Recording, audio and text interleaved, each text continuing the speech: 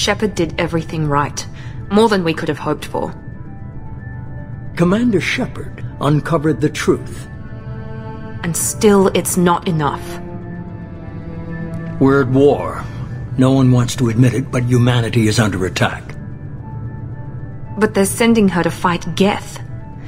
Geth! We both know they're not the real threat. The Reapers are still out there.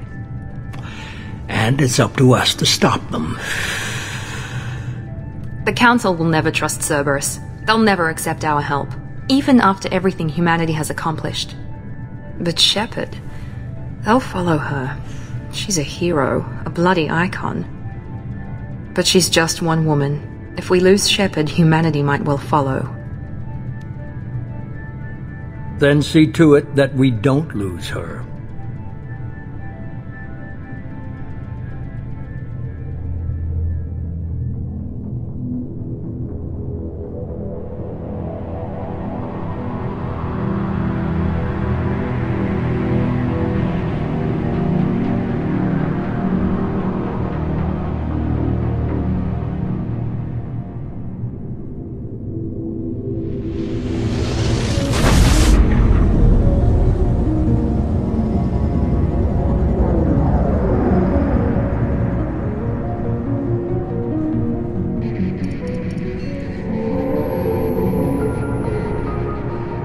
Disengaging FTL drives. Emission sinks active. Board is green. We are running silent. We're wasting our time. Four days searching up and down this sector, and we haven't found any sign of Geth activity. Three ships went missing here in the past month. Something happened to them. My money's on slavers. The Terminus system is crawling with them. Picking up something on the long range scanner. Unidentified vessel. Hmm, looks like a cruiser. Doesn't match any known signatures. Cruiser is changing course. Now on intercept trajectory. Can't be. Stealth systems are engaged. There's no way a Geth ship could possibly. It's not the Geth. Brace for evasive maneuvers!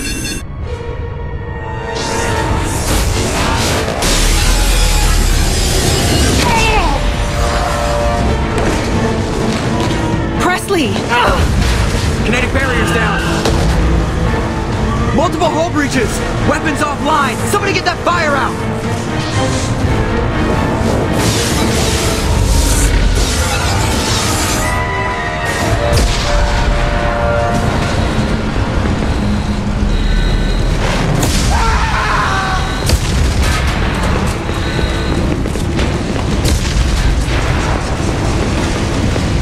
Shepard!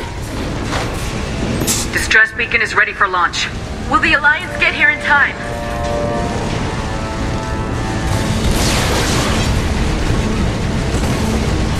The Alliance won't abandon us. We just need to hold on. Get everyone onto the escape shuttles. Joker's still in the cockpit. He won't abandon ship. I'm not leaving either. Get to the damn shuttles! I'll haul Joker's crippled ass out of here. Commander,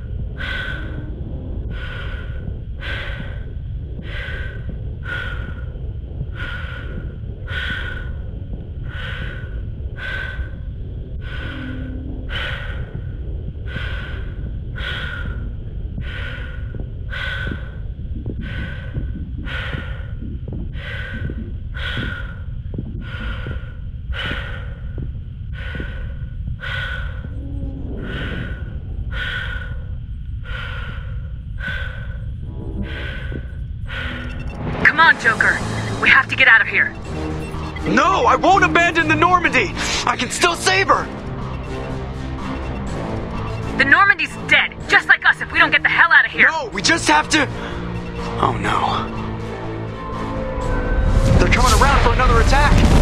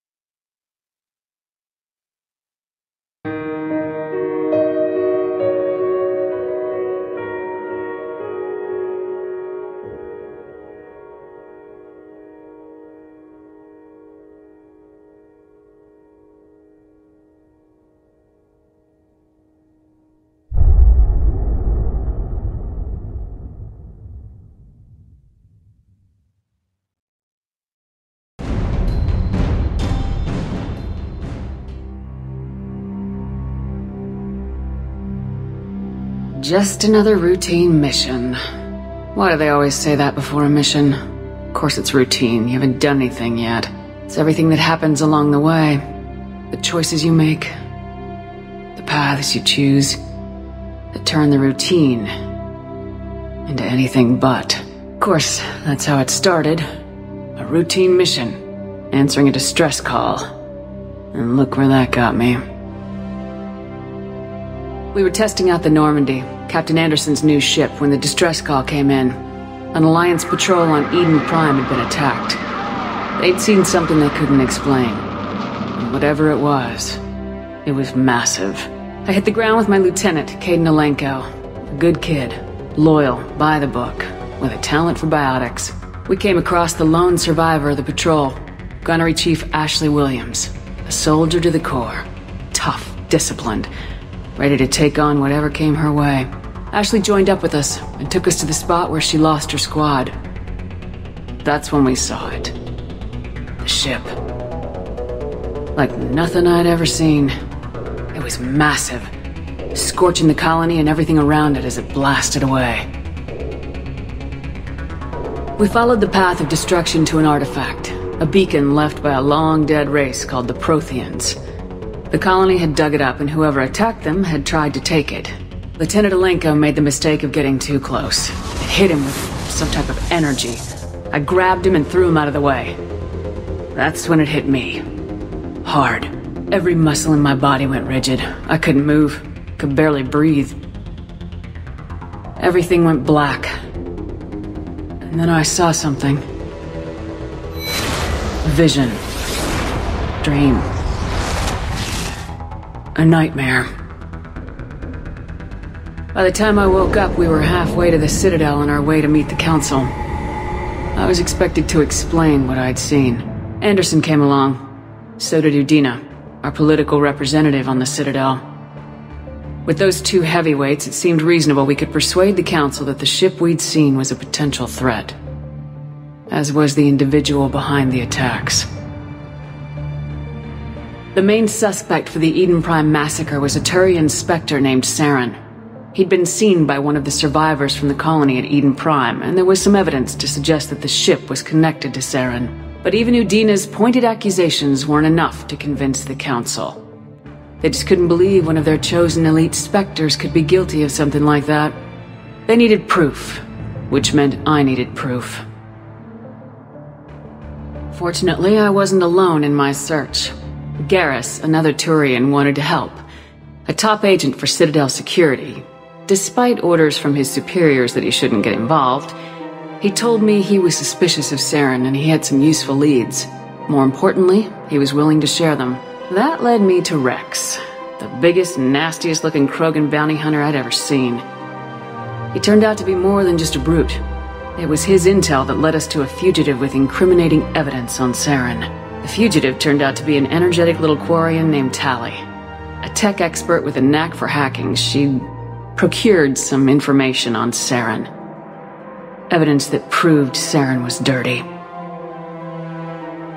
Tali's evidence proved that Saren was responsible for the massacre on Eden Prime, and the immense warship we'd spotted was in fact Saren's flagship. But it went much further. Saren was trying to find a way to bring back a race of sentient machines from dark space. Machines allegedly responsible for cleansing the galaxy of all organic life. These Reapers were blamed for wiping out all life 50,000 years ago, including the Protheans then disappearing back through the mass relays to dark space, leaving no trace that they'd ever been. That explained why Saren was after the beacon, and it made some sense out of my visions, but not much else. We couldn't convince the Council that the Reapers were a threat, but they agreed Saren had to be stopped. They stripped him of his Spectre status and gave me the honor of becoming the first human Spectre. My first task? Bring down Saren. Anderson decided to stay behind, giving up his ship, the Normandy. He told me I'd need it more than he would. He also pointed me in a direction. Liara. A Prothean expert, adept in biotics, and maybe most importantly, daughter of Benezia, Saren's top lieutenant. And like most Asari, as beautiful as she is intelligent, and born with a unique ability to meld with other species. Liara was able to help me decipher some of the vision the beacon had given me. Nothing concrete, but it gave me some clues. And a new appreciation for the Asari. Her technique for accessing my vision was unexpected, but not at all unpleasant. Kaidan was a little concerned about the connection I shared with Liara. As commander, I knew either relationship had the potential to interfere with the mission. I decided discretion was the better part of valor, and kept my focus on our goal, finding Saren.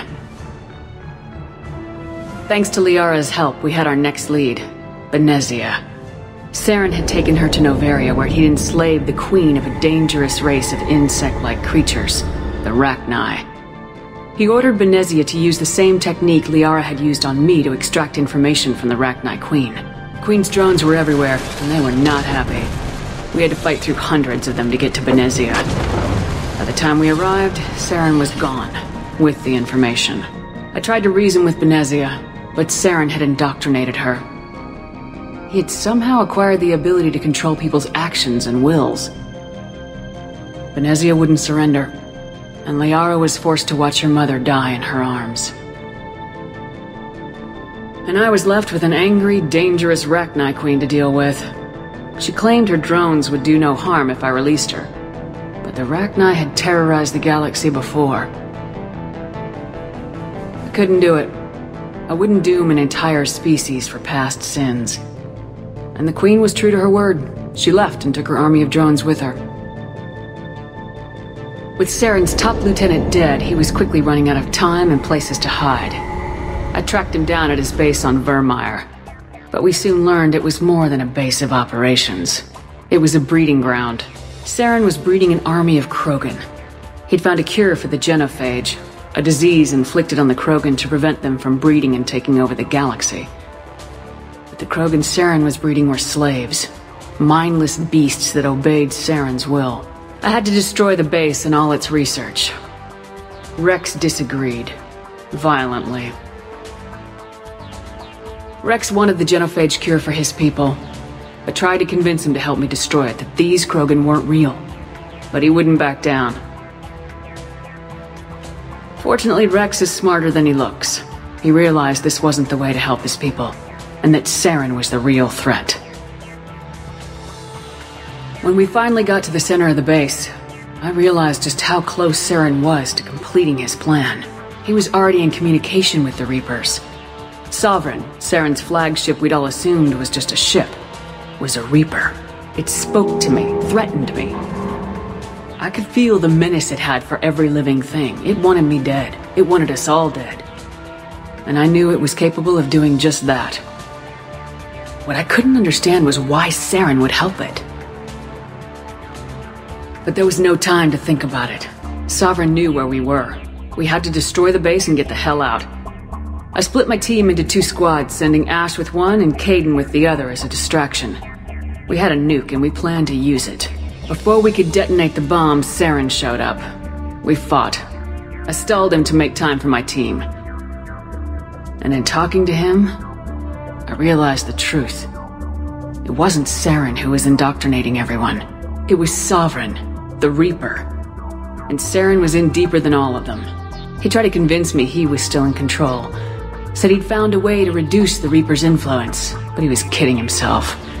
Or believing the lies Sovereign was telling him. Before I could convince him to stop, he ran, leaving me just seconds to extract my squad mates. I tried, but I wasn't fast enough. I could only save one of them. Kaidan was a good man and a great soldier. But I had to choose, and I chose Ash. That was the last time Saren would slip away from me. I knew then, the next time we met, one of us would die. With my team mostly intact, we chased Saren and his army to Ilos, a long-lost planet that had once belonged to the Protheans. As we prepared for what we knew would be a desperate fight, I spoke to my crew. We were just one ship, against Saren's growing army. I assured them all that despite the odds, we could defeat him. I'd never tell anyone, but I had my doubts. Leaving Kaidan behind had hardened my resolve, but revealed a weakness in my defenses. How many more friends and allies would I be willing to sacrifice in order to stop Saren? We arrived on Ilos close behind Saren. Once on the planet, we discovered a Prothean databank that helped me put the final pieces of my vision together. The Reapers had come 50,000 years ago, and every 50,000 years before that, each time purging the galaxy of life. The Protheans had fought and died like every species before them, but a few survived long enough to leave a parting gift. The Protheans had discovered that the Citadel was the key to controlling the mass relays. By sabotaging the Citadel, they found a way to close the relays to dark space, slowing the Reaper's return, giving us the time we needed to find a solution to stop the Reapers once and for all. Saren knew this. He was leading his army to take control of the Citadel and re-establish the relays to dark space, bringing the waiting Reapers here to destroy us all. We followed him to the Citadel. It was intact, but heavily damaged. He'd caught the Council fleets by surprise, and they were only now regrouping. And with Sovereign as his flagship, there was little hope that the fleets could counterattack with enough strength to take back the Citadel. But Saren was done running, and I was done chasing him. As the Alliance and Council fleets battled Saren's army outside the Citadel, I cornered the Turian bastard in the Citadel tower and confronted him. He died believing that the Reapers would save him. As I fought to regain control of the Citadel, the Council's flagship, the Destiny Ascension, fell under attack. Despite Saren's death, Sovereign and Saren's army continued to fight. The Council was aboard the Destiny Ascension and they were requesting assistance. But I knew in order to help them, I would have to put our Human Alliance fleet in jeopardy. The Council had to be saved. They represented the hearts and minds of the galactic community. Without them, the fleets would be in disarray. Even with the Citadel back in my control, Saren defeated and the Normandy leading the combined galactic fleet, the battle against Sovereign, a single Reaper, was relentless. It took the combined fleets of humanity and the other races, but in the end, Sovereign fell. But the costs were immense. While humanity's efforts in the war earned us our first seat on the Council, it was a hollow victory. The Reapers were still out there. I knew the fight was far from over, but as the one who'd led the fight against Saren, I was given new responsibilities. The choice of humanity's first counselor was left to me to decide. On the one hand, Udina, the lifetime politician, ruthless and ambitious, he would easily navigate the political landmines that would soon be placed before him. The other choice, Captain Anderson, the career soldier. Tough but fair. But a friend, and someone I could trust. Both great leaders in their own right.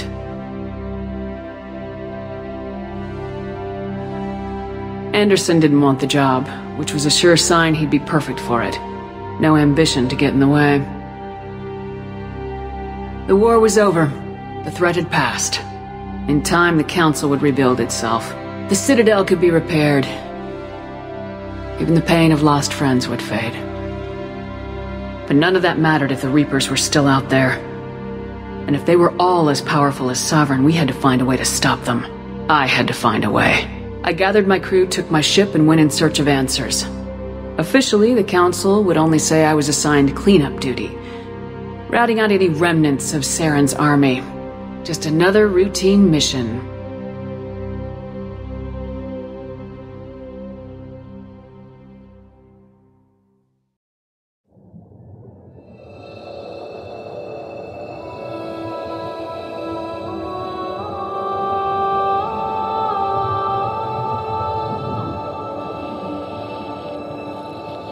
Commander Shepard has been recovered.